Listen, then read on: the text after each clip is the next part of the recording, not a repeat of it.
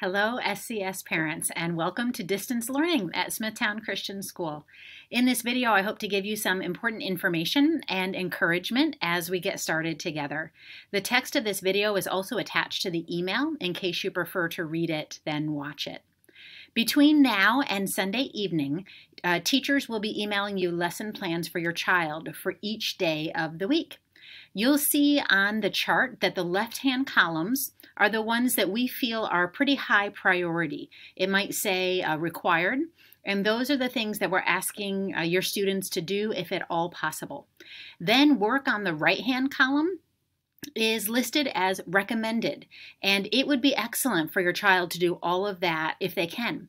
However, we recognize that this method of learning is new to you, it is new to us, and also we know that your family might be dealing with any number of situations that might present challenges to you. So please don't stress.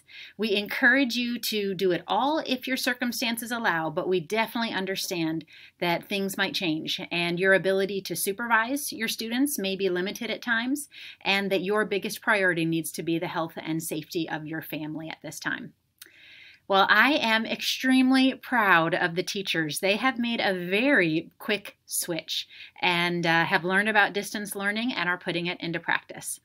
We are still learning about it and growing, and we need your input to know what is working well and maybe what isn't working well, what we can do better. So please be in touch with your child's teacher uh, she wants to know how your child is doing specifically. We don't want to just assume that everything is fine and you're plugging away. Uh, so let us know how you're doing, what is most helpful to you, what's useful, what questions you have. Uh, let us know, even on a daily basis, when your child is unable to do the work for any reason. And also, if you have ideas for us about how to improve our process. Our hope is to get better and more effective each week that we do this. Also at the bottom of the email that this video was found in are lessons from our specials teachers for physical education, art, music, and library. These lessons are optional, uh, so do them as you have time and interest, but they actually might end up being the highlight of your week, just like the specials are during a normal school day. There's a few other things I want to share with you. Uh, first, teachers will be checking their emails two to three times during the school day uh, to answer whatever questions you have. We want to be helpful.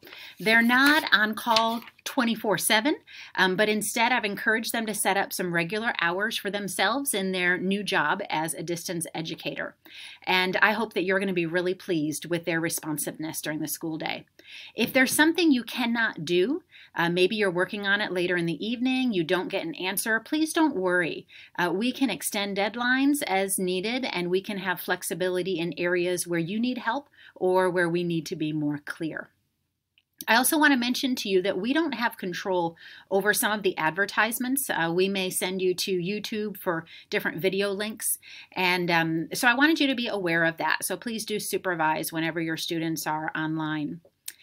You will find that in general, the younger your child is, the more they need an, an adult to help and guide them.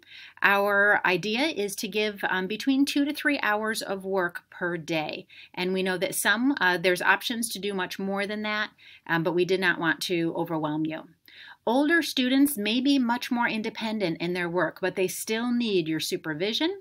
They need you checking in and talking with them about their work. And they also need an adult or someone who is older and responsible to oversee them while they're taking tests.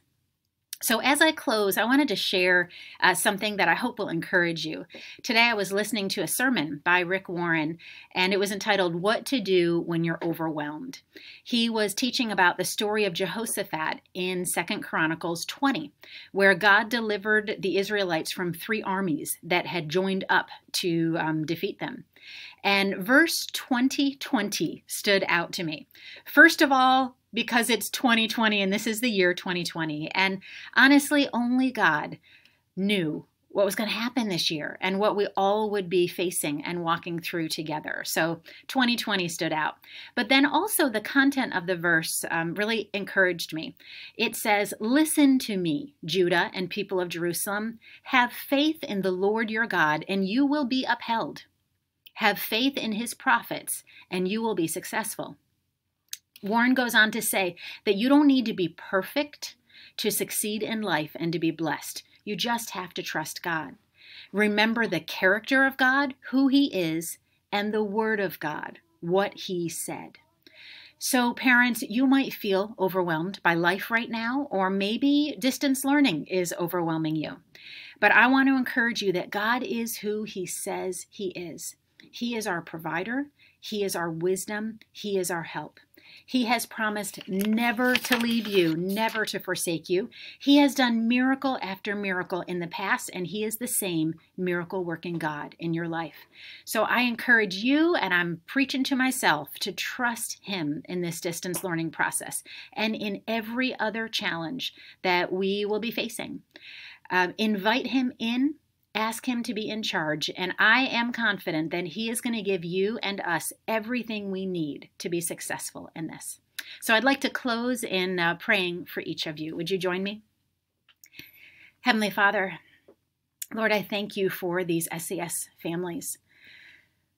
God, I thank you that you are sovereign, you are in control, and we can trust you. We do not need to fear, we do not need to worry. So, Lord, I am asking for each of these parents and maybe other adults in charge who are watching this video. Lord, I pray that they would feel equipped and anointed for this calling in front of them. Lord, I pray for every home that you would protect the homes, that you would be a part of this learning process, and that you would be glorified in everything that we do. So, Father, thank you for being with us. We dedicate this to you. We dedicate our homes to you, our lives to you. Father, would you be lifted high in this process? In Jesus' name, amen. Thank you so much for joining us in this adventure. We are praying for you very often. We ask that you pray for us too, and we will be in touch frequently. Have a great day and a wonderful start to distance learning.